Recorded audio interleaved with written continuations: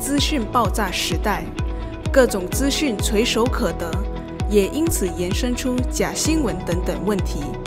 慈济大爱台一直坚持在影视资讯里融入一个观念：暴真导正，维护媒体清流。暴真导正，也就是我们大爱台的一个宗旨。大爱台它是跟慈善、医疗跟教育它是同等的重要，而人文大爱台其实是延续大家的慧命，所以这个是对整个社会跟人类的发展是有重大的影响。数位媒体崛起，催生许多资讯乱象，而暴真导正是媒体维护行业专业的不二法门。这一件好的事情，我把它记录在这一个年代。我们想要报道真的，我们想要报道不只是真的，但是这个真的背后要隐藏善的。这个真的事情告诉你一件善的事情，而且画面要美的。媒体清流，当然它对我们的呃内心的转变，还有一个人的成长是非常的重要的。如果所有的新闻报道都是负面的，都是啊都是不好的，其实会对一些涉世未深的一些年轻人，或是一些啊刚踏入社会的年轻人，他们会对这个社会有深深的绝望，然后也会觉得说这个社会是没有希望的，没有爱的。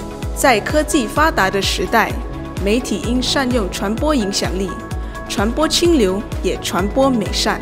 那其实我们在身为媒体人，我们更应该的要报真导正，报道真实的事实，同时我们也要强调一些真善美的一些性质出来，那才是一个呃，我觉得媒体人可以为这个社会所贡献的一些事情，就是希望说我们媒体人做的东西，就是可以报道更多的正能量，哈，让大家的可以进行一个心灵的净化。那你要做媒体清流难吗？难，为什么？我们是属于小错人，那为什么需要做？我们需要为后代，当他看到我们的视频，他印证一件事情：人间透过我帮你，其实我也帮了我自己。那这个社会会更好。